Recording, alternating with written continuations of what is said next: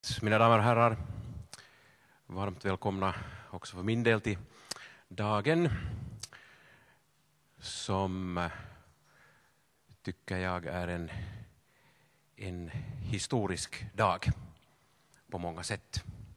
Och jag ska försöka, försöka förklara och berätta varför det faktiskt kan vara så. Kanske det är trevligare att, att vara på en, en historisk dag än en, en ohistorisk dag komma ihåg sen, sen i efterskott. Men det gäller, gäller då att eh, fundera och titta på utvecklingsarbete för barn och unga och familjer i, i svensk Finland. Fungera som en introduktion och uppvärmare till den här, den här dagen. Det, det är den här inledande talturens det där mening.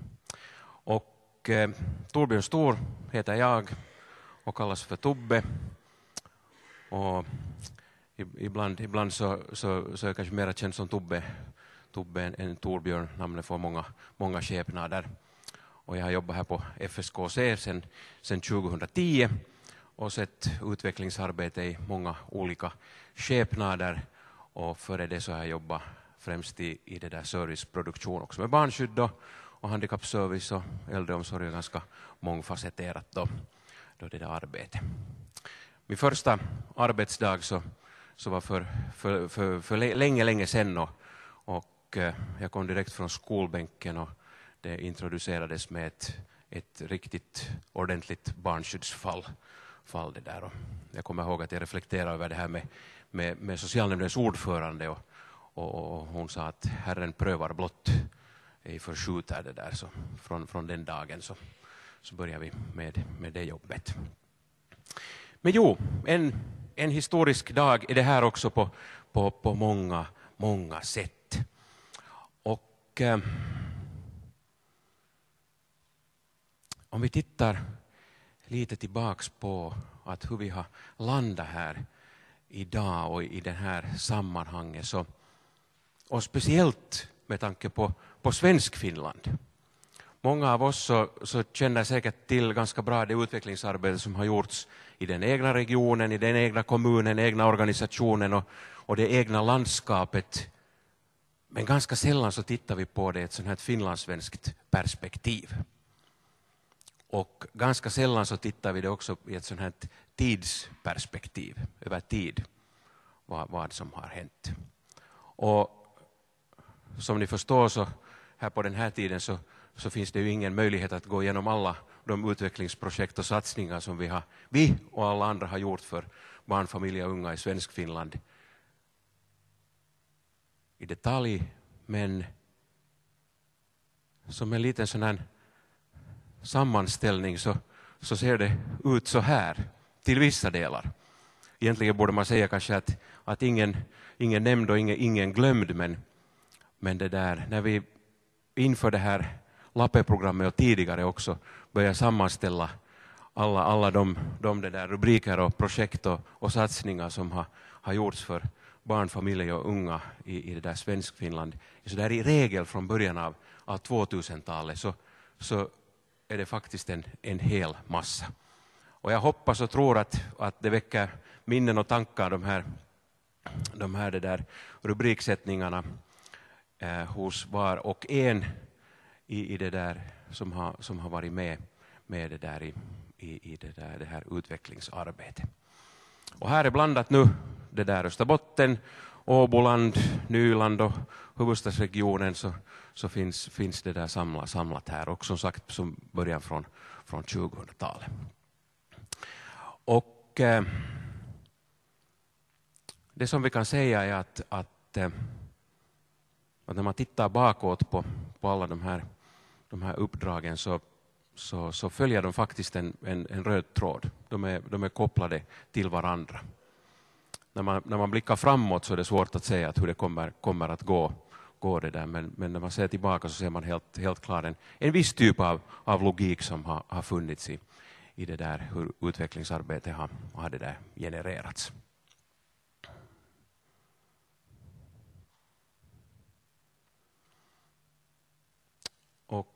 Eh,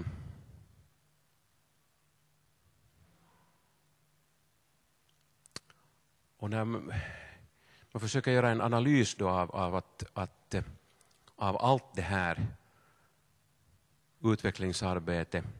så vilka, vilka trender, vilka, vilka sådana utvecklingslinjer kan vi, kan vi se? Och jag har kommit på några sådana det här points. Och eh, den första finding är den att de första av den där stora högen utvecklingsuppdrag så handlar mycket om att organisera verksamhet, grundverksamhet, att, att uh, hitta på den och konstruera den helt enkelt. Det, det fanns inte till exempel på vissa håll uh, till den delen organiserad svensk familjerådgivning. Och sen från den här organisations fasen så har vi gått mot en sån här mera kvalitetshöjande fas. Alltså en förfining av den verksamheten som, som det där då hade där etablerats. Och det som är en stark trend är den här.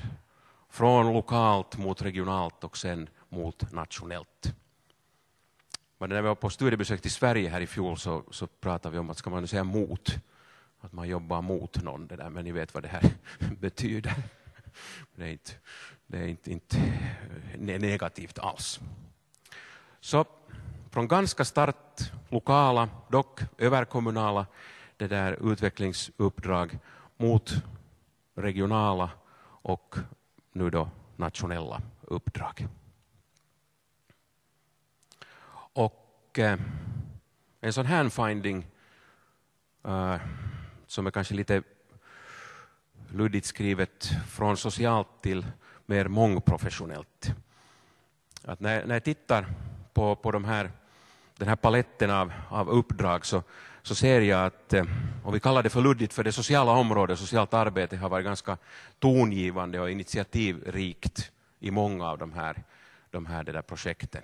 Men sen under årens lopp så har de, har de det där, eh, öppnats upp allt mer, både på grund av eget initiativ och också då på grund av beställning, beställning och organisering, till exempel inom, inom det där kaste, kastesammanhanget och programmet. Så det tycker jag är en helt, helt tydlig sån här, sån här utvecklingslinje. Och sen en annan finding så är den att eh, i början av den här utvecklingscykeln så så var det mycket fråga om att introducera nya metoder, begrepp, tankesätt och nu och speciellt på senare tid så kanske vi går mera mot, mot ett mer här implementerande grepp. Översocialrådet brukar säga att, att, det, där, att det, det finns en sån här implementer, eh, implementatio kuilu, en sån här, sån här svacka. Det har utvecklats en hel massa metoder och, och tagits fram, fram det där och så så det där, den här implementeringen det här kanske blivit lite mer på sladd. Men det, det korrigeras, korrigeras nog här också. Och sen en mycket viktig, viktig det där finding. Det är den att ju mer under den här tiden har gått så, så har forskningen och, och forskningsrelaterad utvecklingsverksamhet fått allt större betydelse. Det är helt otroligt hur, hur, eh, hur det här högskolor och, och universitetsengagemang har, har det där fått och vunnit mark också, och speciellt i svensk Finland. Det är, det är så systematiserat i våra sammanhang att man inte ens nästan tänker på det, utan man tar det, tar det nästan, nästan för givet. Men det har inte kommit gratis, utan det har varit en, en medveten satsning. Och sedan ännu, ännu den, här, den här tanken om att tidigare ganska starkt fokus på arbete, på kanske den professionella i takt med att saker och ting har organiserats och sedan mera, mera det där introduktion av brukarmedverkan och sen också delaktighet och delaktighetskoncept. Man tänker då fokus på, på det där vart utvecklingssatsningarna eh, har, har det där riktats. Så med bakgrund och eh, tankar och minnen och, och, och, och kännedom om vad som har, har skett i det här axplocket från, från det där Svensk-Finland så, så, så tycker jag ser mig de här utvecklingslinjerna. Och det, det är kanske viktigt att se också sådana, sådana det här mera generella utvecklingslinjer än då den här själva substansen i, i de här alla uppsjön av, av, av fina, fina projekt och, och satsningar. För det har sen gett den här grogrunden också till det som vi har idag. Det här är kanske lite för kontrastbildat att nu då sen idag så har vi då bara det här. Från det här till det där.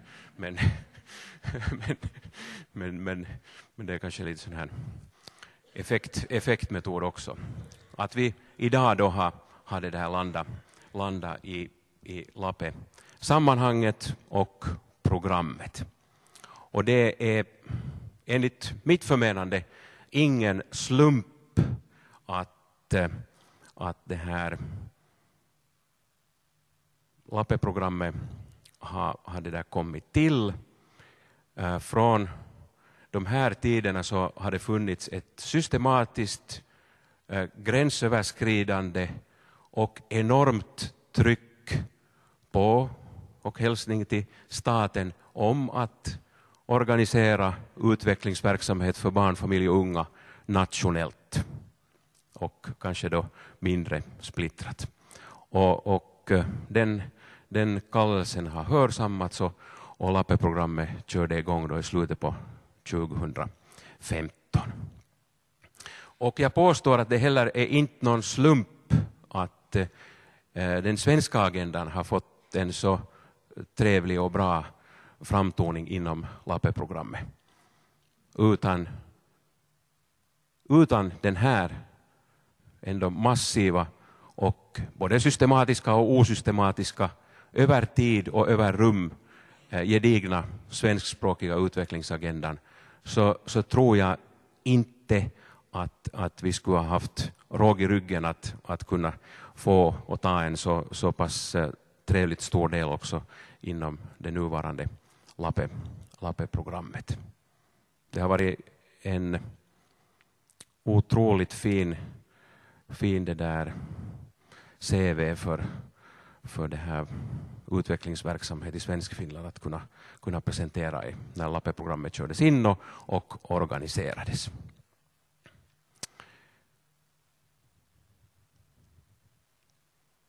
Jo. Och eh, så till den delen är det en historisk dag. Vi ser att det här är en, en tydlig, kanske inte alltid uttalad det här gång från Svensk-Finlands satsningar då, då in, in där i Lappe. Och eh, sen är det också en historisk dag på ett annat sätt kopplat till dagens agenda. Och det är ju så att den fem, eh, första i sjätte 2015 så, så ordnades här i den här salen ett första större äh, föreläsningstillfälle om dagens äh, det här tema, systemiskt barnskyddsarbete, och då under, under Hackney-modellens rubrik. Och det var, Kati, du kommer säkert ihåg våra många och långa och förhoppningsvis roliga också planeringspalaver som, som vi hade under, under våren 2000, 2015 och sen utmynna i, i den här, den här tillfället här i den här samma, samma salen. Och, eh, och det där, eh, då visste vi inte alls att vart, vart vi kommer och vart det här leder leder det där, men nu är det ju en mycket trevligt att, att konstatera att, att vi från Svensk-Finland och alla de gedigna satsningarna och systematiska och systemiska och osystematiska utvecklingslinjerna också har varit med och bidragit till att, att sätta sätta en så här stor och nationell sak på agendan och i, i det där rubrikerna. Så till den delen så har också, också det där, tycker jag, vi i Svenskfinland bidragit till den nationella utvecklingsagendan på ett alldeles förträffligt sätt. Sen med talko, talkoarbete och hemmatagna foton, foton det där till, till inbjudan förstås, som traditionen påbjuder. Så så, så påstår jag som en introduktion till den här dagen att det är en historisk dag idag. Vi, vi det där kan med tillförsikt se på en Hur säger man på finska att teillä on loistava tulevaisuus takananne, men, men det där att kanske vi har en, en, en förträfflig framtid också, också det där vad gäller utveckling och forskningsbaserad utveckling på svenska i det här landet också framför oss, att tecknen är åtminstone mycket, mycket goda och som sagt är mycket, mycket det där nöjd över, över det där det fotfäste som, som svensk service, svenskt tänk och svenskt utvecklingsarbete har det där fått inom, inom LAPE, LAPE-programmet. Jo. Så före vi går in på dagens substans, kom ihåg att det här var en liten introduktion och sån här, sån här det där intro till, till dagen, så, så passar jag på också att, att tacka. Det är många som, som bör tackas i Svenskfinland för insatser, både professionella, och barn, unga och familjer som har ställt sig till förfogande för, för servicens och, och innehållets utveckling. Icke att förglömma. Så, tack så mycket och, och välkomna, välkomna det där till dagen.